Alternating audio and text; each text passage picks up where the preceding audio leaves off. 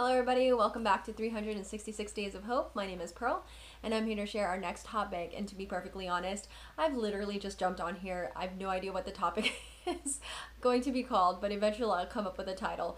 Nonetheless, I really wanted to jump on here and talk about something I'm really passionate about because I'm seeing more and more of it, and I'm being very, very disturbed about what I am seeing.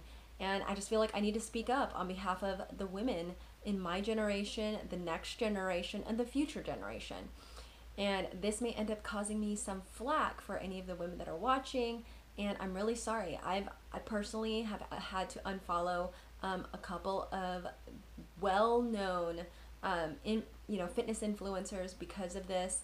I've had to basically revamp my page um, slightly because of it.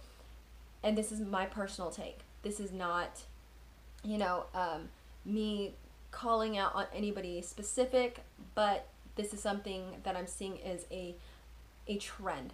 Now, I work in the fit, fitness industry, so I definitely understand this sort of appeal to our outward appearance. You know, how we're supposed to look, what we're supposed to, you know, be as an idol. Uh, and the thing is, I don't want to be somebody's idol. I want to be a um, a role model, but I don't want to be someone's idol, you know? So, one of the things that I've noticed is that we see all of these young influencers that are using their social media as a way of influencing the next generation or and or present generation towards a healthy lifestyle. But in doing so, they're also unveiling um, themselves to a point that it is visually distracting. Let's put it that way. And personally, for me, I have had to stop following a lot of accounts because I was starting to see that. Now, I get it. You want to show your progress. But I doubt that being in a thong or in lingerie is a way in which you need to show your progress.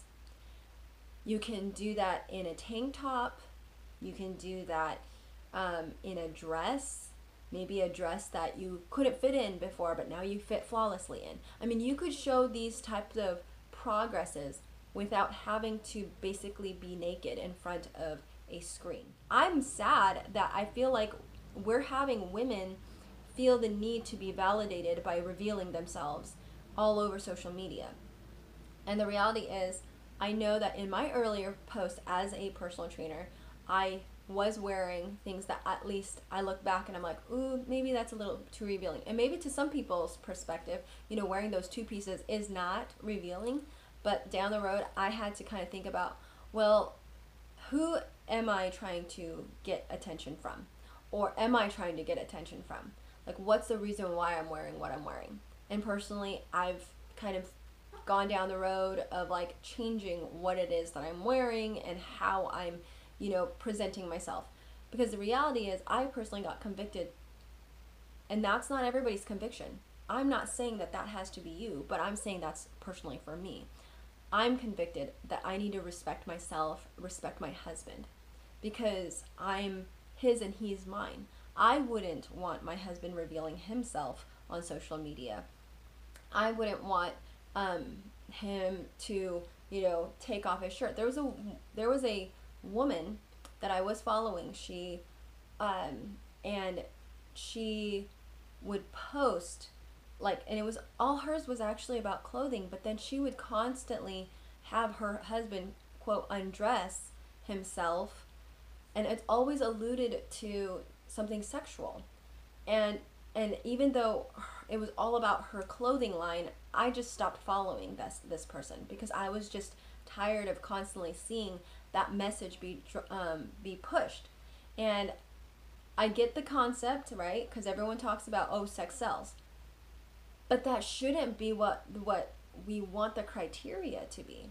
We should be raising up a generation that thinks differently that acts differently that that perceives um, a higher standard you know? And i think that's so important. So if i want to influence the next generation and or even my generation i need to set the stage for myself and I feel like I need to share that you are royalty. And when you guys think about that, like personally for me, when I started to think about like me as as how God sees me, that he sees me as his daughter. And if he's the king of the universe, that makes me a princess.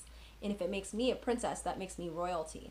And if I'm a royalty, then there's a standard of how I behave, there's a standard in how I act, there's a standard in how I respect myself.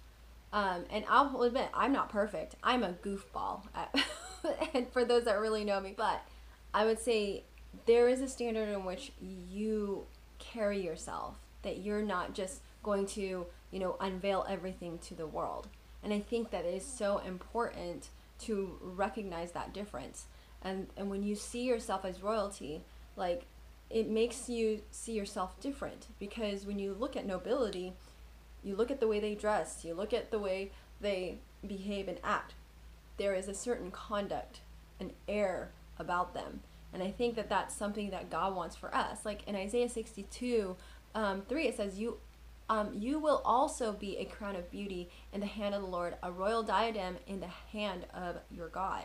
And when you think about that, you are royalty according to God.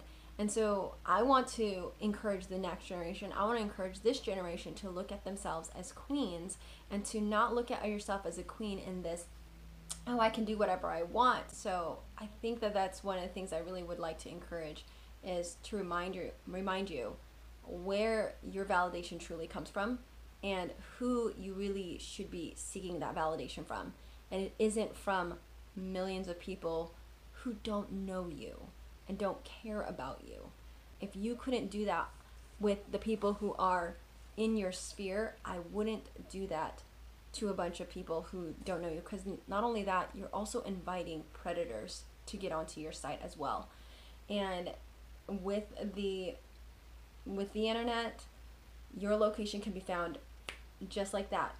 And so it is crazy scary um, how easy you can be stalked online. Don't invite the crazies by putting off certain content that would only lead you down a road that you don't want to go down. And that's my encouragement to you guys. So please ladies and gentlemen, gentlemen too, please don't entertain those things as well. Block them, delete them, so that way you can keep yourself mentally pure and mentally strong um, and to be as righteous of a man as you can even in this day and age. Um, and also you ladies be righteous women. May you live thrive and be healthy. Take care guys. Bye